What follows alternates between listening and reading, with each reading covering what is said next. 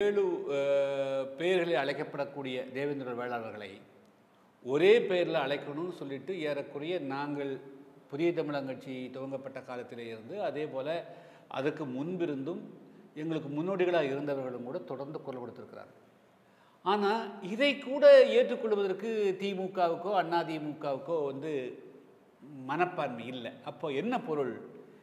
எத்தனை நாளைக்கு கெஞ்சி கொண்டிருப்பது? நாமே அந்த இடத்துக்கு வந்திருந்தால் இதெல்லாம் எளிதாக முடியுமே என்ற உணர்வுக்கு வந்துட்டான். ஆச்சுங்களா?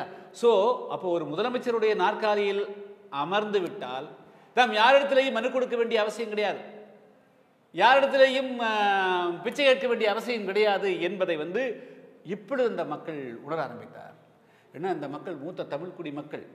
இப்போது பல சமுதாயத்தினுடைய பெயர்கள் இதுக்கு முன்பு மாற்றியிருக்கிறாங்க காமராஜருடைய காலத்தில் பெயர் மாற்றிக்கிறாங்க நாடான் என்ற பெயரை நாடார் என்று மாற்றியிருக்கிறார்கள் முத்தரையன் என்ற பெயரை முத்தரையன் என்று மாற்றியிருக்கிறார்கள் வேளாளன் என்ற பெயரை வேளாளர் என்று மாற்றியிருக்கிறார்கள் செட்டி என்ற பெயரை செட்டியார் என்று மாற்றியிருக்கிறார்கள் அதே போல தான் ஆனால் அவர்களெல்லாம் சில வந்து இன்னும் சொல்லப்போனால் திராவிட முன்னேற்ற கழகத்தினுடைய தலைவர்.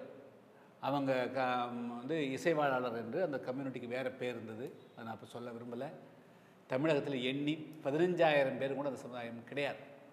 ஆனால் அவருடைய பெயரெல்லாம் வேளாளர் என்று சொன்னால் என்ன பொருள் குறிக்கும் வேளாண்மை செய்யக்கூடியது? இசையை எப்படி வேளாண்மை செய்ய முடியும்?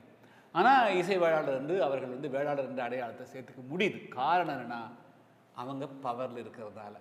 ஸோ இதையை வந்து எங்களுடைய மக்கள் தேவதர மக்கள் உணராமல் இருந்தார்கள்.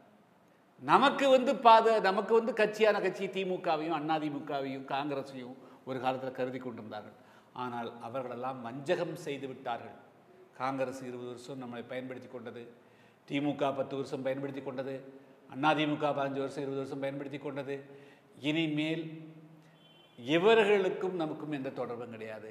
இவர்களை ஒழித்து கட்டுவது ஒன்றுதான் தேவேந்திரருடைய மீட்சிக்கு அடிப்படையாக அமையும் என்ற அடிப்படையில் தேவேந்திர வேளாளர்கள் தங்களை வந்து அணிதிரட்டி கொண்டிருக்கார்கள். அதற்கு புதிய தமிழகம் முழுமையாக தன்னை வந்து ஈடுபடுத்தி கொண்டிருக்கிறது.